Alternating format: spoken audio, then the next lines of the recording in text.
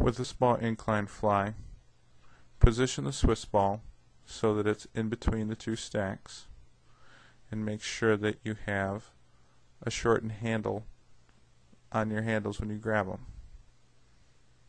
Lay back on the Swiss ball and you want to make sure your torso is at a 45 degree angle to the ground.